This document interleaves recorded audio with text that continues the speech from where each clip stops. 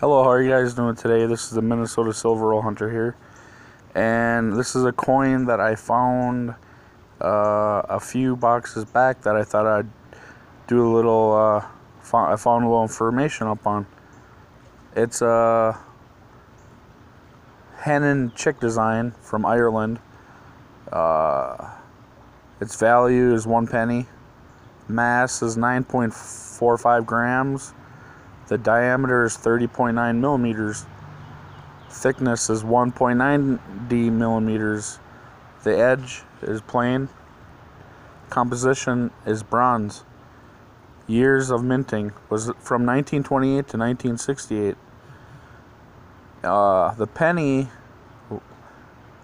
it's called the Irish Pingin, Pingin coin that was the third smallest denomination of the pre-decimal Irish pound, worth 1 240th of a pound or 1 12th of a shilling.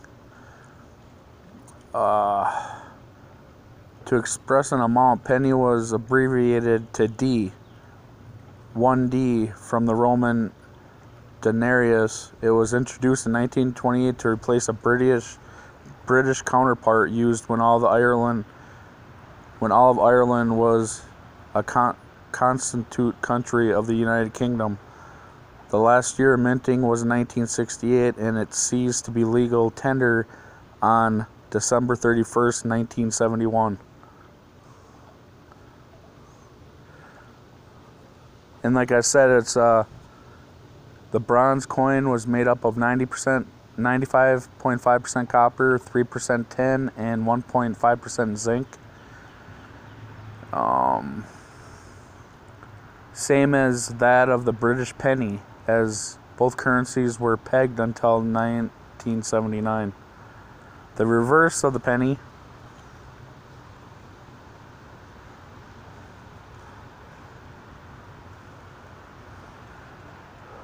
was designed by the English artist Percy Metcalfe.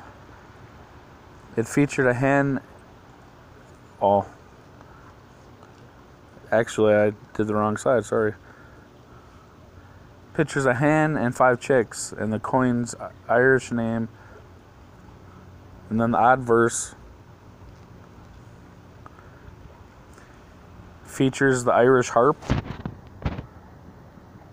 From 1920 to 1937, the date was split either side of the harp with the name Saorstát Éireann circling around from 38 to 68. The inscriptions changed to Éire on the left of the harp and the date on the right. So I guess it goes like that.